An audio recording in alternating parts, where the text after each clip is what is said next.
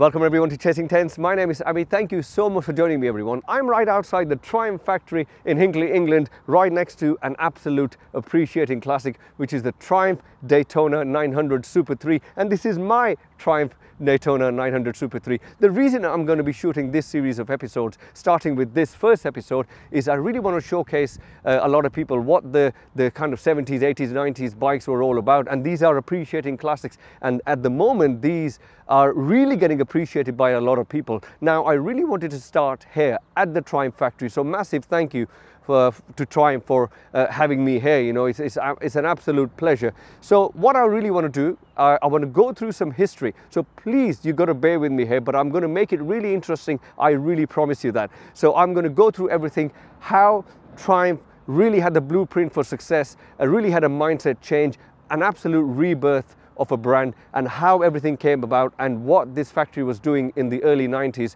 which truly won the hearts and minds of people with absolutely smashing products after products, great bike after bike after bike. So please bear with me guys, let's start with the history of this brilliant brand. So in the early 90s, this was an absolute unbelievable facility, absolute state of the art, 10 acres, 14,000 square meters at that time. Now it's even expanded even more. Now Triumph had an absolute culture change with a happy, young, motivated, carefully selected team of people who had job satisfaction and they were absolutely proud of what they did. Triumph was constantly listening to his customers and employees. They were also here for the long run. They weren't doing anything short term. Over 80% of the components were sourced from within the UK and more than 40% of the completed motorcycles were produced in-house here at this facility. Things which we take for granted now were part of the regular production of bikes. In-house high-grade CNC machining, advanced robotics for precision welds, plasma nitride hardening for those crucial engine components. They didn't lose the personal touch on the bikes as well. Hand paint striping was still part of the finish and tolerances were measured by hand with lasers. Microalloyed steel was used to make these long-lasting frames. State-of-the-art computers did all the barcoding to keep a record of things even when a bike left the factory. Now, suspension and brakes were sourced externally, but they had gone through thousands of hours of research and development. The secret ingredient for continuity of production of bikes was the modular design mindset, interchangeable parts between the bikes externally and internally. This helped with economical construction. Now, even the fasteners were zinc cobalt plated. This exceeded customer rust proofing expectations. Powder coating was done in-house and everything was triple coated. 3D CAD system was used in the design process. Styling was tough and even paint was flexible because it had to prevent cracking and to match the flexible British made plastics which were not brittle at all and Triumph called them accident proof. 60 quality control checks were done. Everything was thoroughly checked. No page was left unturned by Triumph. After sales was absolutely excellent. When it came to parts and confidence, people had absolute confidence in Triumph again unlimited mileage guarantees were given from 12 to 24 months. Along with all these things, Triumph really brought back an absolute positive mindset to really bring a proper rebirth of this brand. And not only the brand was brought back, a lot of other models like the Trident, the Trophy, the Daytona, you know what? Triumph was back and it was here to stay. So now let's talk about the Triumph Daytona 900 Super 3 and this bike was an absolute flagship bike for Triumph and I'm now going to go through all the reasons why this bike was so important. The Daytona 900 was an evolution of the Daytona 750 and this Daytona 900 Super 3 was an evolution of the Daytona 900. So the engine was technically 885cc and cut. It was so important for me to make that cut, guys. How can I make a documentary about this bike and talk about the engine without paying a visit to Cosworth? Now, long story short, before starting this film, I contacted Triumph Motorcycles and Cosworth Engine Development at the same time. Now, Cosworth came back to me after I did that film at the Triumph factory. Now, I really didn't tell Cosworth at that time that I've been speaking to Triumph because I really wanted to get Cosworth's point of view on what work they did with the engine and Triumph's point of view. So as soon as Cosworth told me what they what work they did, that married exactly with the information Triumph gave me. Now let's look at a little bit of history here because it's very important for us to know why Triumph came to Cosworth with their flagship bike for a little bit of their expertise. Now Cosworth, if a lot of you don't know, there were two main people involved in the birth of Cosworth. Mike Costin, so it's very important to note the surname, Costin, Cos, and Keith Duckworth, Worth. So Costin from Cos from Costin and Worth from Duckworth made Cosworth. So Cosworth were absolutely the pinnacle of engineering in the early kind of late 50s, 60s, especially with their Cosworth DFV Formula One engine. Now Cosworth really put themselves on the map with their collaboration with Ford, especially with the DFV Cosworth engine, which was an absolute brilliant success in Formula One, especially in the hands of Jimmy Clark and Graham Hill with the Lotus 49, which is my absolute favorite historic Formula One car. So year on year, uh, not only that engine, other projects, especially in a rally as well, you know, Cosworth did a great job. Even now, Cosworth are everywhere. They even have, uh, a, you know, research and development center in America as well. So Cosworth were absolutely kind of at their height uh, of success when Triumph actually approached them. Now, most important thing, what you need to know is what actually happened. Now, this is an information which isn't very clear out there, uh, you know, especially when you look into Google or YouTube. Let me tell you what actually happened. So this information has been double checked with Triumph as well. The information is exactly the same. The head of the engine was made at the Cosworth foundry. The engine itself never came to Cosworth, okay? This is very important thing to know. Now, Cosworth never sent their engineer to Triumph or head of engineering to Triumph saying, oh, you know what, Triumph needs some help. Uh, can you go and sort them out? No. Keith and Mike from Cosworth, the two main people, were directly mentoring the Triumph engineers at the Triumph factory. Okay, so the Triumph people did all the work on it. Only the head was made at the Cosworth foundry.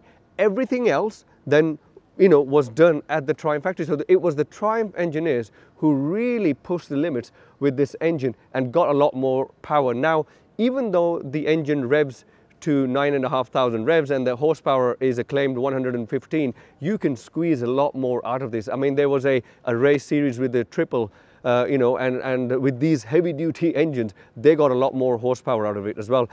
Torque is around 64, 65 pound feet and around 84 newton meters. But what you're going to realize, and I'm going to tell you something very quirky about torque. Now, I love Jay Leno a lot. Jay Leno has a lot of Triumphs. He has a lot of steam engines. He has a lot of different cars. However, he said something about steam power and the torque which is delivered by the steam power. It was like the hand of God. He used to call steam the hand of God because the torque just pushes you. And the same terminology I'm going to use for this Triumph because I've done a lot of motorway miles during the making of this film and my goodness me, the, the torque just, and the six gears are just like absolutely plush. They just, the torque just pushes you forward. So I'm going to use that hand of God terminology which Jay Leno uses for steam engine power with this bike because I think it's, it really makes a lot of sense because the torque is very progressive, very dynamic, but it doesn't give you any kind of lumpiness. It's just absolutely smooth.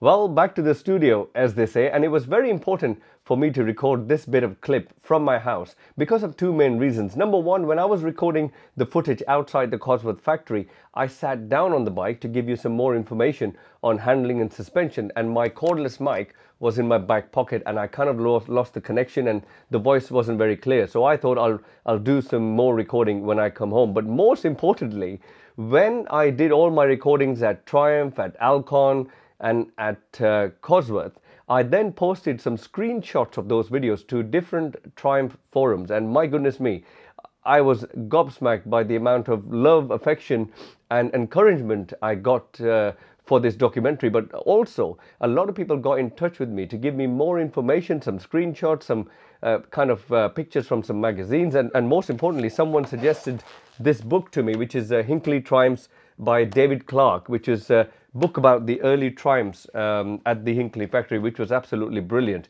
But also, I got a lot of mixed information from some people, and with all due respect to everyone, even though I got the information from the horse's mouth, like Cosworth, uh, Triumph, and even Alcon, um, I'll tell you about that in a bit, um, I still thought it would be just and fair for me to kind of go home, sit down, and read all those messages and and kind of make up my mind and also read this book um, and then give you some more information.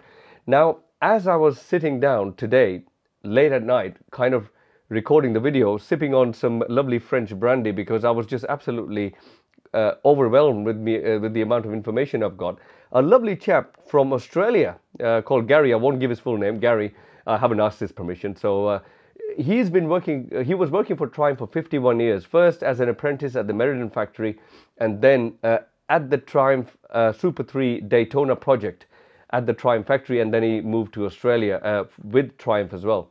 So Gary got in touch and uh, I, we were just speaking uh, today about 10 minutes ago and um, he just, re- this is amazing, you know, I, I couldn't have asked for, for something better, like better re- kind of reassurance really. And uh, Gary just just told the exact facts to me, which uh, Triumph and Cosworth gave about the whole Cosworth involvement, Keith Duckworth and Mike Costin and all sorts. So I'm just absolutely over the moon. So uh, let's start giving you some further information on this amazing project and the bike, which is the Triumph Daytona Super 3 900. So you really get to uh, know more. Uh, and I am absolutely delighted to give you this information. So I don't want to bore you with too many numbers, but it's very important to give you some numbers and some facts, also some celebrity ownerships of this bike as well. So around 150 uh, Triumph Daytona Super 3s 900s were made, and altogether I think they made around 850 Triumph Daytona 900s.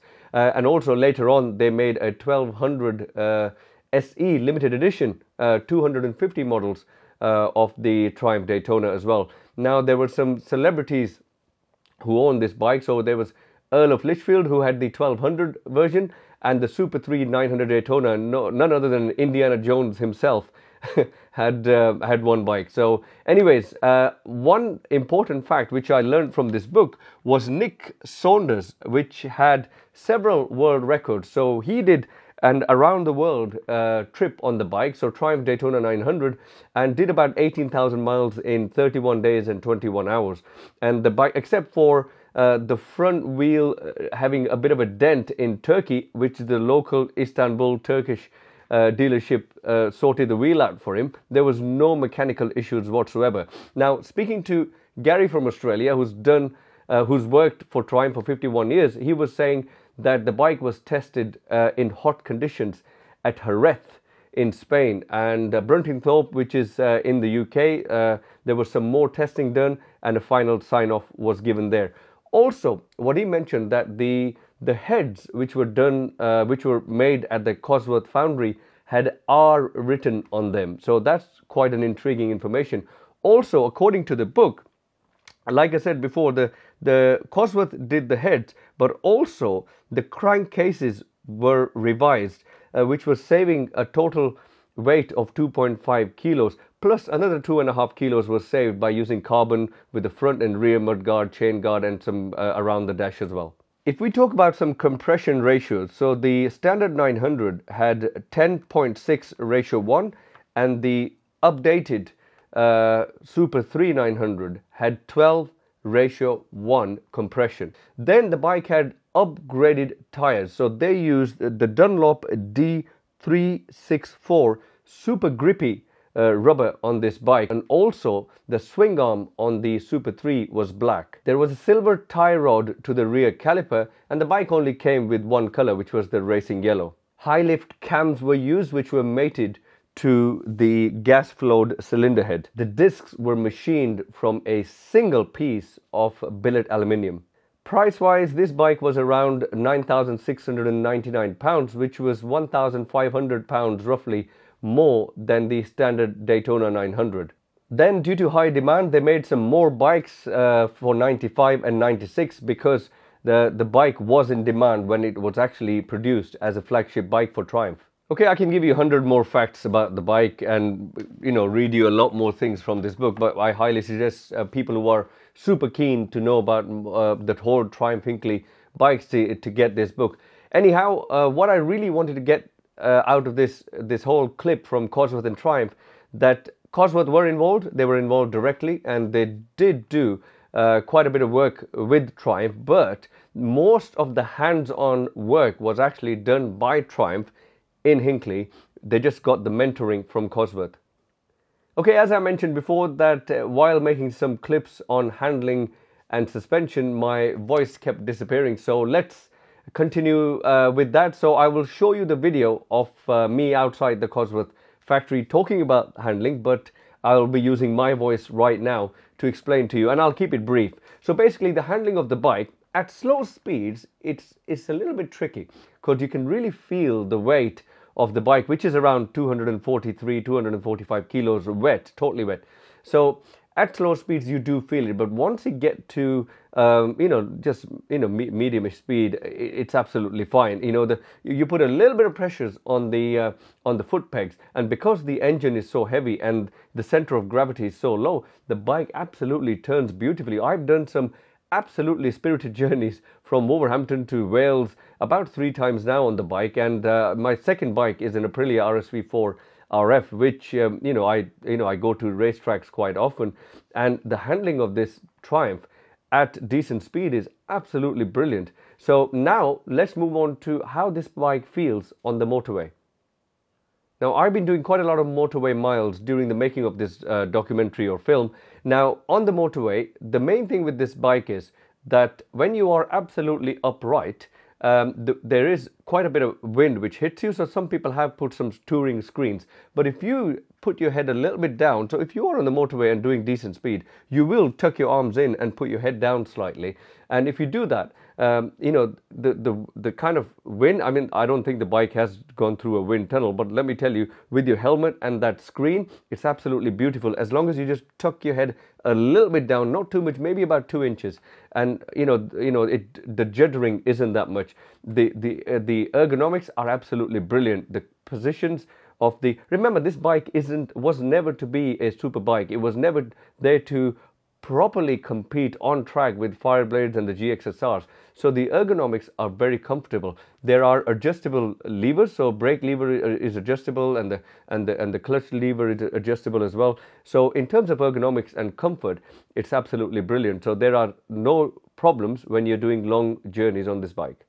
Okay, so let's talk about some upgrades which have been done on my bike. So I've got some bar end mirrors, which I quite like because I, I like a bit of cafe racer look. I used to have a Honda CX500, which was a custom bike, and everything was quite low on that. Even with this one, I like this low drag kind of look with the, the mirrors, uh, which are side uh, mirrors, which, which were done by the previous owner anyways. And the two exhausts uh, in the rear are SP Engineering exhausts, which are about one and a half kilo each slip-on part.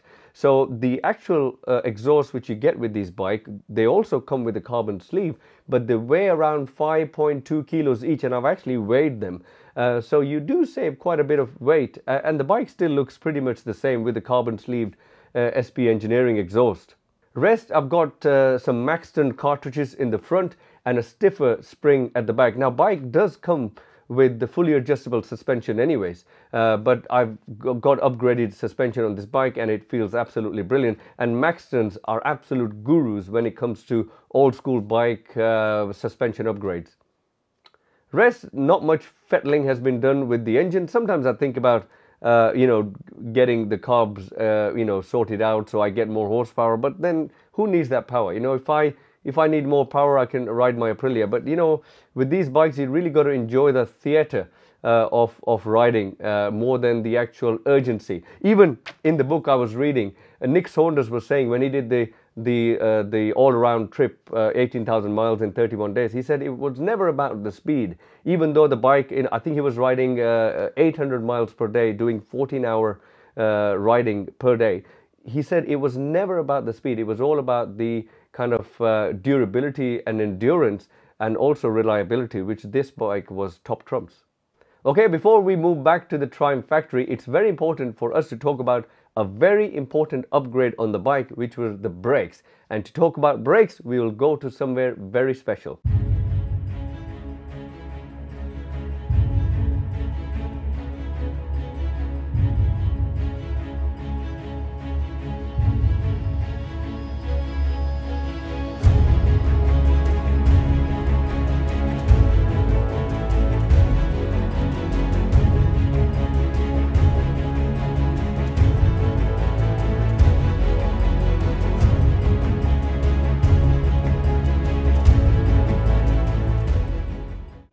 Now this was the special place I was talking about earlier, Alcon Specialist Brakes and Clutches. Please excuse the two-tone look of my jacket because I've come from Cosworth to Alcon about one hour 15 minutes away and I got absolutely drenched in heavy rain and I got an experience to ride this bike in the rain as well which was absolutely brilliant. Anyways this Alcon facility is huge here in Tamworth and they've got a research and development park right behind it Alcon have been in the business for a very long time and Triumph chose Alcon to the, do these amazing six-pot brakes which are absolutely fantastic. Alcon work with McLaren, ProDrive, they work with Aston Martin, Peugeot and a lot of defense and motorsport projects. Now Alcon know a thing or two about brakes, that's for sure. And these six pot brakes, which were way ahead of his time for the 90s, are absolutely brilliant. I've had no brake fade issues or, or juddering or anything like that. I've tested these brakes on the motorway, country roads, everything. And these are more than adequate, adequate for this bike. Now, I am lucky enough, I was lucky enough to own the previous version, the standard version of this model, which is the standard 900, and that's about 98 horsepower, and it's got normal brakes. This is about 16 horsepower more, and this has got the upgraded brakes, and trust me, the bike needs it because of more power, and the weight is around 245 kilos, so it definitely needs these brakes. And you know what? They are absolutely brilliant. I think there was no other bike at that time having six piston uh, brakes and, and you know what, I have no complaints.